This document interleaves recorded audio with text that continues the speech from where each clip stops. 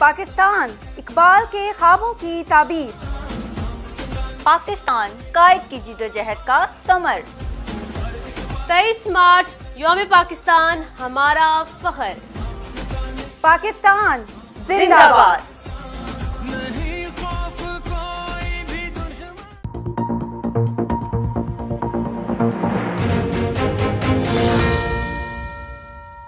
Aslam talent news में खुश आमदीद मैं हूँ एहसान इलाही। और मैं हूँ तैयबा सत्तार। टैलेंट न्यूज़ की जानब से पूरी पाकिस्तानी कौम को योम पाकिस्तान की मुबारकबाद। बुलेटिन में सबसे पहले शामिल करेंगे न्यूज़ हेडलाइंस। योम पाकिस्तान आज मिली जोशो जज्बे से मनाया गया। इस्लामाबाद में दिन के आगाज़ पर इकतीस तोपों की सलामी, सूबाई दारकूमतों में इक्कीस इक्कीस तोपों की सलामी दी गई। अलामा इकबाल के मज़ार पर गार्ड्स की तब्दीली की पुरवकार तकरीब हुई। फिजाइया के चाको चौबंद दस्ते ने मज़ार के गार्ड्स के फ़राइज संभाल लिए। हमारा विजन पाकिस्तान को रियासत मदीना की तर्ज पर हकीकी फलाही रियासत में तब्दील करना है। हम बानियान पाकिस्तान को उनकी खिदमात और कुर्बानियों पर खराज अकीदत पेश करते हैं। सदर मुमलिकत आरिफ अलवी और वज़ीर अजम इमरान खान के योम पाकिस्तान के मौके पर खसूसी बयान अमरीकी सदर जो बाइडन का सदर मुमलिकत आरिफ अलवी को खत खत में योम पाकिस्तान के मौके पर पाकिस्तानी कौम को भी मुबारकबाद पेश की। योम पाकिस्तान के हवाले से लाहौर वेस्ट मैनेजमेंट कंपनी की clean Lahore rally. Waste management company के मुलाजमीन और गाड़ियों की शमूलियत। पंजाब हुकूमत ने नैब की सिक्योरिटी फराहम करने और रेड जोन करार देने की दरखास्त मंजूर कर ली। पंजाब हुकूमत की सब कैबिनेट कमेटी बरए अमन अमान ने मरियम नवाज़ की पेशी के दौरान नैब ऑफ़िस को रेड जोन करार देने की मंजूरी दे दी है। एनसीओसी का कोरोना की तीसरी लहर पर काबू पाने के लिए सख्त पाबंदियों का ऐलान। कारोबार हफ़्ते में सिर्फ़ पाँच दिन खुलेंगे। तमाम कारोबारी सरगर्मियाँ रात आठ बजे बंद करने का फैसला। पाकिस्तान को रवामा कोरोना की दूसरी चीनी वैक्सीन मिलने का इम्कान। चौथी खेप 26 मार्च को इस्लामाबाद पहुँचने का इम्कान। और लाहौर हाईकोर्ट ने कौमी क्रिकेट टीम के कप्तान बाबर आज़म के खिलाफ मुकदमा दर्ज करने के फैसले पर अमल दरामद मुअतल कर दिया। हेडलाइंस आपने जानी बुलेटिन के आगाज़ में सबसे पहले आपको बताएँ कि योम पाकिस्तान मुल्क भर में मिली जोश जज्बे के साथ मनाया जा रहा है। इस्लामाबाद में दिन के आगाज़ पर इकतीस तोपों और सूबाई दारकूमतों में इक्कीस इक्कीस तोपों की सलामी दी गई, जबकि योम पाकिस्तान की मुनासबत से आज मुल्क भर में आम तातील है। योम पाकिस्तान पर लाहौर में अलामा इकबाल के मज़ार पर गार्ड्स की तब्दीली की पुरवकार तकरीब हुई और पाक फिजाइया के चाको चौबंद दस्ते ने मज़ार के गार्ड्स के फ़राइज संभाले। इस तकरीब के मेहमान खसूसी air vice marshal Nadeem Akhtar Khan थे। गार्ड्स ने मेहमान खसूसी को सलामी दी और गार्ड ऑफ़ ऑनर पेश किया, जबकि air vice marshal Nadeem Akhtar Khan ने मज़ार पर फूल रखे और मेहमानों की किताब में तासुरात दर्ज किए।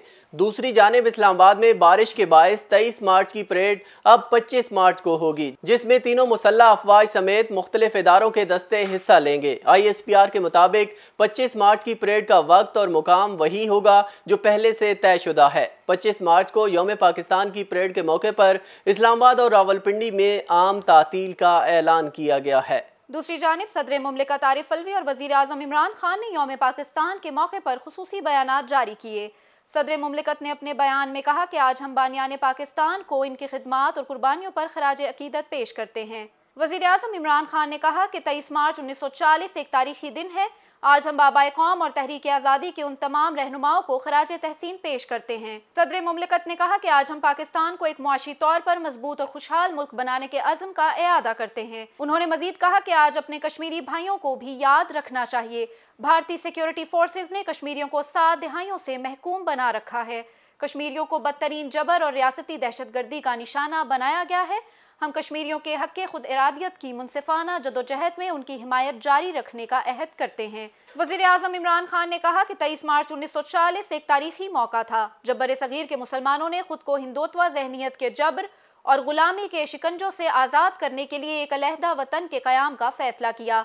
आज हम बाबा कौम और तहरीक आज़ादी के उन तमाम रहनुमाओं को खराज तहसीन पेश करते हैं। बुलेटिन में आगे बढ़ते हुए आपको बताएँ कि अमरीकी सदर जो बाइडन ने योम पाकिस्तान पर सदर ममलिकत आरिफ अलवी को ख़त लिखकर मुबारकबाद पेश की है। अमरीकी सदर जो बाइडन ने अपने ख़त में योम पाकिस्तान के मौके पर पाकिस्तानी कौम को भी मुबारकबाद पेश की है। ख़त में कहा गया है कि पाकिस्तान अमरीका पार्टनरशिप, इलाकाई अमन खुशहाली के मुश्तर मकसद पर मबनी है और मुश्तर चैलेंजेस के लिए बाहमी ताउन जारी रखेंगे। अमरीकी सदर ने अपने ख़त में कहा कि अफ़गानिस्तान में क़याम अमन, कोरोना वबा और माहौलियाती तब्दीली पर काबू पाने के लिए ताउन जारी रखेंगे। हम पाकिस्तान के साथ शराकत दारी को मुस्तबिल में मजीद मज़बूत बनाना चाहते हैं। खबरों में आपको मजीद बताएँगे कि पंजाब हुकूमत ने नैब की सिक्योरिटी फराहम करने और रेड जोन करार देने की दरख्वास्त मंजूर कर ली।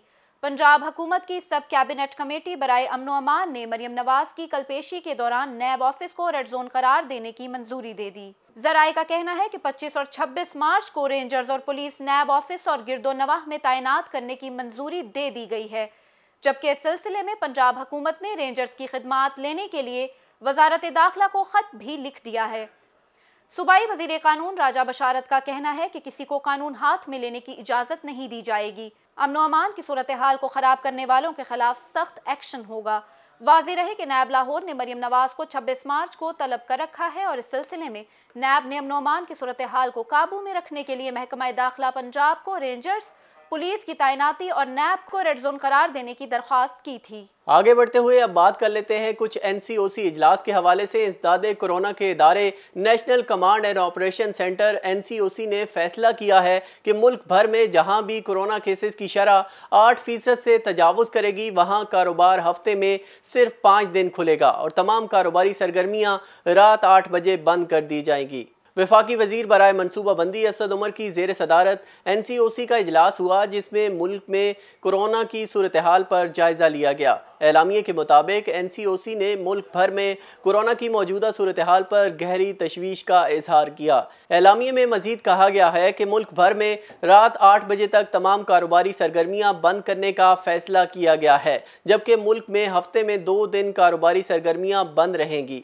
ताहम कारोबार बंद रखने के लिए दो दिनों का तयन वफाक की इकाइयाँ करेंगी। एन सी ओ सी का कहना है कि फैसलों का इतलाक आठ फ़ीसद से ज़्यादा मुस्बत शरह वाले अजला और शहरों पर होगा, जबकि आठ फ़ीसद से कम मुस्बत शरह वाले इलाकों पर पहले से नाफिज पाबंदियाँ जारी रहेंगी। एन सी ओ सी के मुताबिक मुल्क भर में सिनेमा और मज़ारात मुकम्मल बंद रहेंगे, जबकि कोरोना एस ओ पीज़ के तहत तीन सौ अफराद तक के इजतम की इजाज़त होगी। एलामिया में मजीद कहा गया है कि स्पोर्ट्स त्यौहार सकाफती और दूसरी तकरीबा पर मुकम्मल पाबंदी होगी, जबकि बंद मुकाम पर होने वाली तमाम सकाफती, मौसीकी और मजहबी इजतम पर भी पाबंदी होगी। मजीद बात करेंगे कोरोना के हवाले से। पाकिस्तान को रवा माह कोरोना वैक्सीन की दूसरी खेप मिलने का इम्कान है। जराये के मुताबिक पाकिस्तान को कोरोना वैक्सीन की खेप चीन से मिलेगी और ये चौथी खेप 26 मार्च को इस्लामाबाद पहुँचने का इम्कान है। जराये का कहना है कि पाकिस्तान को कैन साइनो वैक्सीन की साठ हज़ार डोजेज मिलेंगी और पाकिस्तान को मिलने वाली कैन साइनो की ये पहली खेप होगी। जराये के मुताबिक चीन से साइनोफॉर्म वैक्सीन की 10 लाख डोजेज भी इस माह पाकिस्तान पहुँच जाएँगी। अभी आपको बताएँ कि लाहौर वेस्ट मैनेजमेंट कंपनी के सीईओ की जेर सदारत योम पाकिस्तान के मौके पर रैली का इनका किया गया है। इसी हवाले से नरगिस सिद्दीकी ने रिपोर्ट तैयार की है। अब भी देखिए। योम पाकिस्तान के हवाले से लाहौर वेस्ट मैनेजमेंट कंपनी ने क्लीन लाहौर रैली का इनका किया। परेड में वेस्ट मैनेजमेंट कंपनी के मुलाजमीन और गाड़ियों ने शिरकत की।